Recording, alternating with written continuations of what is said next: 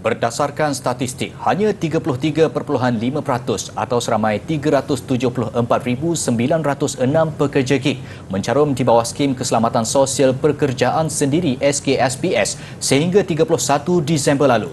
Statistik oleh Pertubuhan Keselamatan Sosial Pekerja Perkeso mendedahkan angka yang rendah dan membimbangkan susulan semakin rakyat semakin ramai rakyat memilih untuk bekerja sendiri. Laporan segmen Turun Padang hari ini meninjau tahap kesedaran mereka. Butirannya bersama Aini Syafiqah Zaki.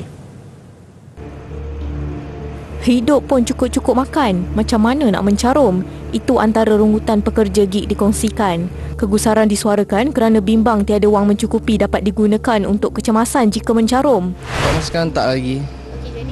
Mungkin saya emergency nak pakai duit, uh, saya simpan sendiri senang. Bila-bila nak pakai, senang bawa keluar. Baginya, wang kecemasan tetap disediakan walaupun tidak mencarum di bawah perkeso.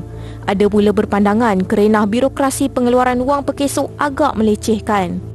Ada setengah uh, situasi bila kita nak claim perkeso tu dia banyak prosedur banyak step-step dia jadi mungkin uh, sebab tu ramai rider yang tak nak ambil perkeso atau mencarum perkeso ni lah.